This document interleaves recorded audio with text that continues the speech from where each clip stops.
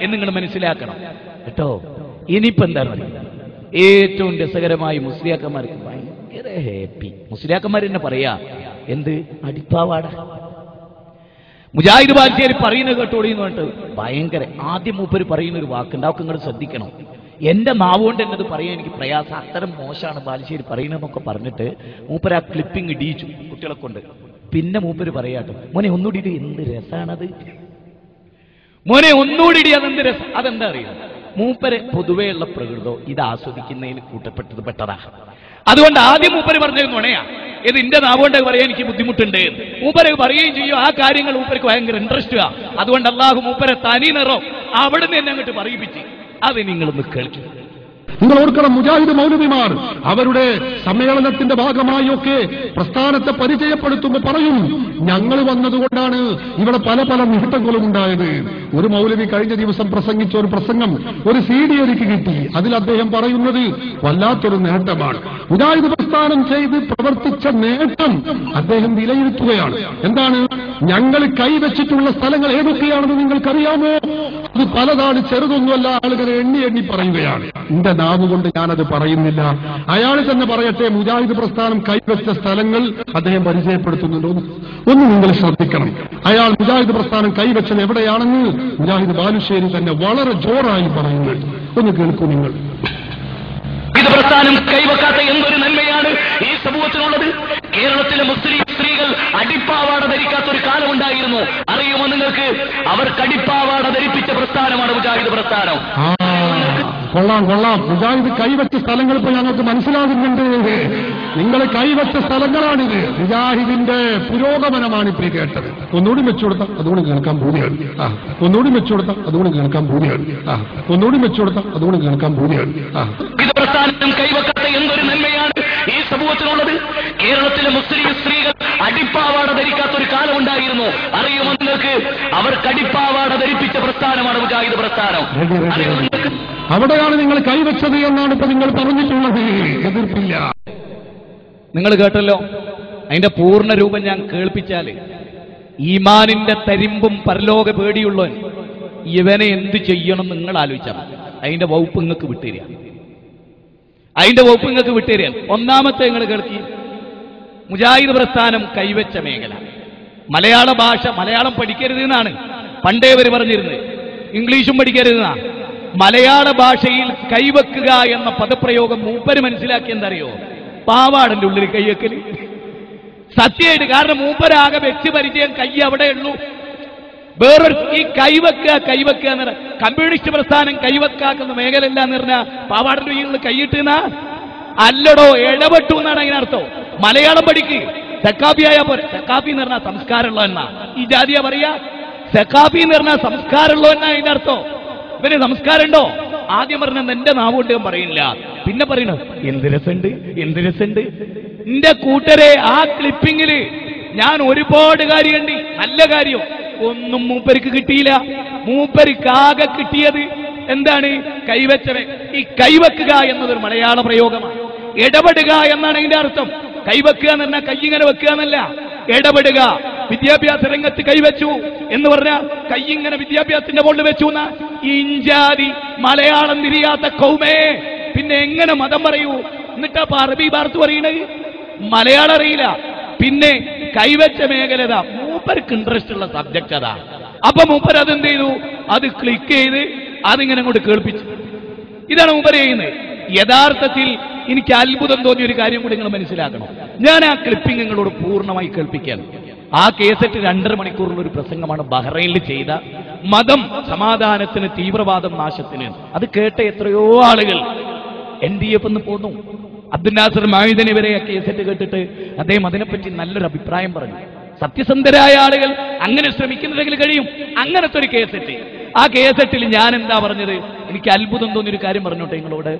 ഞാൻ ആ ഭാഗം പറഞ്ഞിട്ട് ഉടനെ പറയുന്നു "ആ, ഞങ്ങളെ ഞങ്ങൾക്ക് കറാമത്തുണ്ടെന്ന് ഞങ്ങൾ ബാധിക്കുന്നില്ല പക്ഷെ ഇസ്ലാഹി പ്രസ്ഥാനത്ത് അന്ന് പ്രൊട്ടക്ട് ചെയ്തിട്ടുണ്ട്.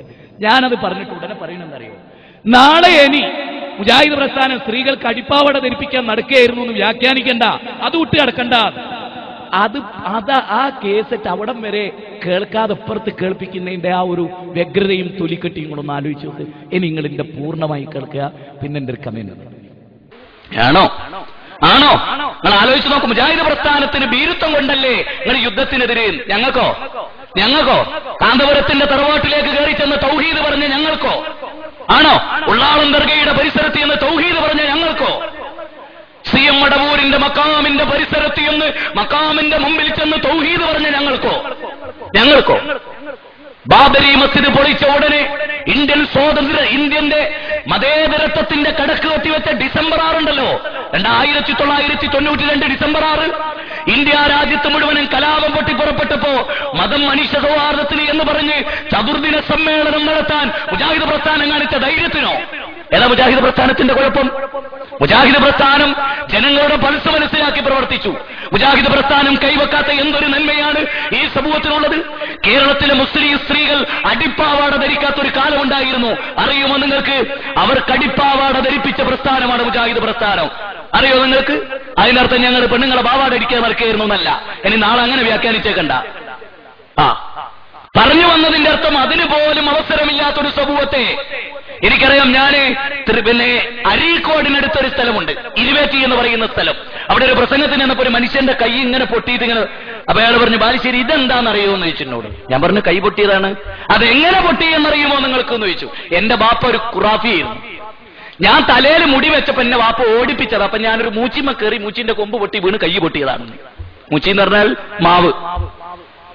അയാൾ പറഞ്ഞത് ഞാൻ അപ്പടി പറഞ്ഞോളൂ മാത്രം? മാവിന്റെ മുകളിൽ എന്റെ ബാപ്പ ഓടിച്ചിട്ട് കയറ്റി. അങ്ങനെ കൊമ്പടിഞ്ഞ് ഞാൻ വീണു മുടിവെച്ചതിന്റെ പേരിൽ. ഈ സമൂഹത്തെ മുടിവെച്ചിട്ട് ഇപ്പൊ ഹെയർ സ്റ്റൈൽ ഉണ്ടല്ലോ. ഓനെ വാർന്നു വെക്കാനും ഒരു ചീർപ്പ് കൈ പിടിപ്പിക്കാനും പഠിപ്പിച്ച പ്രസ്ഥാനം മുജാഹിദ് പ്രസ്ഥാനം. ഈ പ്രസ്ഥാനത്തിന് ഏതെങ്കിലും ഒരു കാര്യത്തിൽ മുജാഹിദ് പ്രസ്ഥാനം ഇടപെട്ടില്ല. ജക്കാത്ത് സിസ്റ്റമാറ്റിക്കലി ഈ സമൂഹത്തെ പഠിപ്പിച്ച ആര്? മുജാഹിദ് പ്രസ്ഥാനമാണ്. ഈ പ്രസ്ഥാനം ക്രിസ്ത്യൻ ചർച്ചിൽ പറഞ്ഞ പോലെ മുസ്ലിങ്ങൾ തൊട്ടുവെക്കാത്ത ഒരു ശാസ്ത്രശാഖയില്ല എന്ന് പറഞ്ഞ മാതിരി മുജാഹിദുകൾ തൊട്ടുവെക്കാത്ത ഒരു മേഖലയും കേരളത്തിലില്ല. അതുകൊണ്ട് വളരെ ഗൗരവം പറയാ ഇത്ര സഹോദരങ്ങളെ നോക്കണം. അതായത് ബഹ്റൈനിൽ വർഷങ്ങൾക്ക് മുമ്പ് പ്രസംഗിച്ചപ്പോൾ തന്നെ ഞാൻ പറയുന്നുണ്ടെന്ത് മുജാഹിദുകൾ അടിപ്പാവാട ധരിപ്പിക്കാൻ നടക്കുക എന്ന് നാളെ വ്യാഖ്യാനിക്കരുത്. എന്നിട്ടും അത് ക്ലിപ്പിംഗ് ആക്കി ഇവരെ കുറിച്ച് നിങ്ങൾ പറയൂ ഇവർ മുഗ്മിനുകളാണോ ഇവർക്ക് പരലോക വിശ്വാസമുണ്ടോ ഇവരെന്താ ശ്രമിക്കുന്നത്? മാത്രമല്ല എനിക്ക് ആശ്ചര്യം തോന്നുന്ന ഒരു കാര്യം കൂടെ ഞാൻ പറഞ്ഞോട്ടെ. എന്താണ് അലവിക്ക് ഇഷ്ടപ്പെടാത്തത്? ജക്കാത്ത് സിസ്റ്റമാറ്റിക്കലായി നടത്തിയതിനെ പറ്റി മൂപ്പര് മിണ്ടുന്നില്ല. കാരണം മൂപ്പര് ജക്കാത്ത് കൊടുക്കാറില്ല കൊടുപ്പിക്കാറില്ല മൂപ്പർക്ക് ഇഷ്ടപ്പെട്ടില്ല. ഹെയർ സ്റ്റൈൽ മുടി വെക്കാൻ പഠിപ്പിച്ചു മുജാഹിദ് പ്രസ്ഥാനം. എല്ലാ കാര്യത്തിലും മുജാഹിദ് പ്രസ്ഥാനം ഇടപെട്ടു. അതൊക്കെ പറഞ്ഞ മൂപ്പർക്ക് ആകെ ക്ലിക്ക് ചെയ്തൊരു കാര്യം എന്താ? മൂപ്പർക്ക് താല്പര്യമുള്ള ഒരു വിഷയം ഞങ്ങൾ ആ ക്ലിപ്പിംഗ് കേൾക്കുമെങ്കിൽ ചിന്തിക്കണ്ടേ? ഇപ്പോ ഈ നാട്ടിൽ മണക്കടവിൽ ഒരു പെണ്ണിനെ ഒരുത്തൻ നഗ്നനാക്കി. എന്ന് വിചാരിച്ചോളൂ വസ്ത്രമില്ലാത്ത വിവസ്ത്രയാക്കി. അപ്പൊ ഒരാൾ ഓടി വന്നിട്ട് ആ പെണ്ണിനെ ഒരു ഡ്രസ്സ് കൊണ്ട് പുതപ്പിച്ചു. എന്നിട്ട് അവൻ ചോദിക്കുകയാണ് ഈ പെണ്ണിന് ഡ്രസ്സ് ധരിപ്പിച്ചവനാണ് ഞാൻ. അതൊരുത്തൻ ക്ലിപ്പിംഗ് ആക്കിയാലോ? ഓൾ ഡ്രസ്സ് ധരിക്കാത്ത അവസ്ഥയിലാണ് ഓന് ഇഷ്ടം എന്നതിന്റെ അർത്ഥം. മനസ്സിലായോ? ഞാൻ അടിപ്പാവട ധരിപ്പിച്ചു എന്നല്ല പറഞ്ഞു? കയ്പിച്ചു എന്ന് പറഞ്ഞില്ലല്ലോ. അത് മുസ്ലിയാക്കന്മാർക്ക് ഭയങ്കര വെറുപ്പായി പോയി എന്താ നിങ്ങൾ കഴിപ്പിക്കാത്തത്? എന്നാലല്ലേ ഞങ്ങൾക്ക് ജീവിക്കാൻ പറ്റൂ?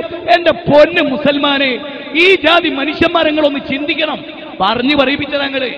പറഞ്ഞു പറയും ഏ ചെങ്ങായിമാരെ വീടില്ലാത്തവർക്ക് വീട് വെച്ചു കൊടുത്തു എന്ന് പറഞ്ഞാൽ അതൊരു മോശ ഏർപ്പാടാ. ഡ്രസ്സ് ധരിക്കാത്തവന് ഡ്രസ്സ് ധരിപ്പിച്ചു എന്ന് പറഞ്ഞ മോശ ഏർപ്പാടാ.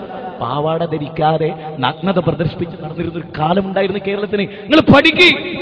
അതുകൊണ്ട് അതിനുള്ള അവകാശം നേടിക്കൊടുത്തത് എന്നിട്ട് അത് ക്ലിപ്പിംഗ് ഇട്ട് ചിരിച്ച് ആർത്ത് അട്ടഹസിക്കുന്ന പുരോഹിത വർഗമേ يا أيها الذين آمنوا إن كثيرا من الأخبار والرهبان ليأكلون أموال الناس بالباطل ويصدون عن سبيل الله സത്യവിശ്വാസികളെ പണ്ഡിത പുരോഹിതന്മാരിൽ ഭൂരിപക്ഷം നിങ്ങളുടെ ധനം അന്യായമായി തിന്നുന്നവരെയാണ് നിങ്ങൾ മനസ്സിലാക്കണം അന്യായമായി തിന്നുന്നവരെയാണ് ഇത് നിങ്ങൾ മനസ്സിലാക്കണം ഇത് ജനങ്ങൾ പഠിക്കണം ഈ വസ്തുത ജനങ്ങൾക്ക് ബോധ്യപ്പെടണം. എത്ര സ്ഥലങ്ങളിലാണ് ഈ കാപട്യവും തട്ടിപ്പും ഈ ജനത നടത്തിക്കൊണ്ടിരിക്കുന്നത് നിങ്ങൾ വിചാരിക്കും?